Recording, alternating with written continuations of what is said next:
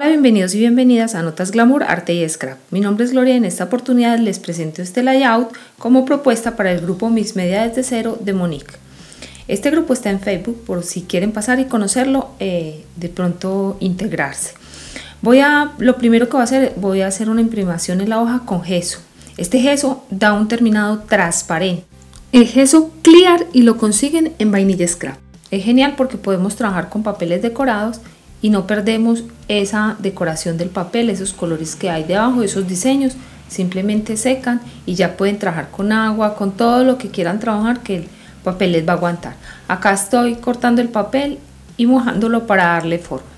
Todos estos tips y todas estas cositas nos las enseña Monique en el grupo y además de eso montó canal en YouTube donde eh, van a estar montadas las clases del grupo. Las invito a que pasen y, y se integren y también realicen eh, los retos, que es un grupo genial. Eh, y de verdad que se presentan proyectos muy bonitos. Acá estoy pintándole como esas esquinas del papel para que no se vean tan blancas. Y otra vez hice imprimación con yeso en las esquinas porque ese papel pues no tenía imprimación y como voy a trabajar con pasta de textura, acá la pasta de textura le di color con pintura acrílica y con un stencil de la forma pues que cada uno elija le doy textura al papel y lo como que lo resalto más. Me, me encanta el efecto que da este stencil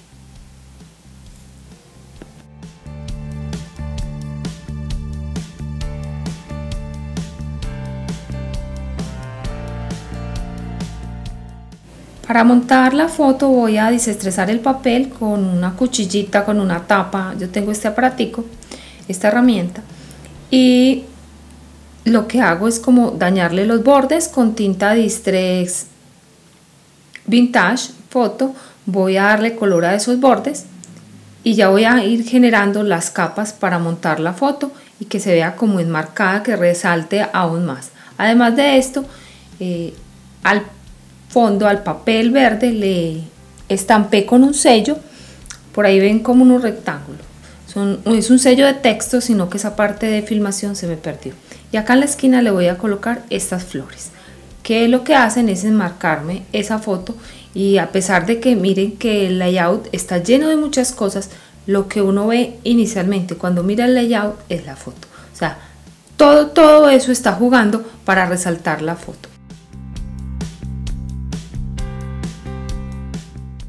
Esta pasta nubo también me resalta algunos sectores y algunos laditos donde quiero darle más luz y más color al layout. Y así nos quedó, espero les haya gustado, se animen a participar.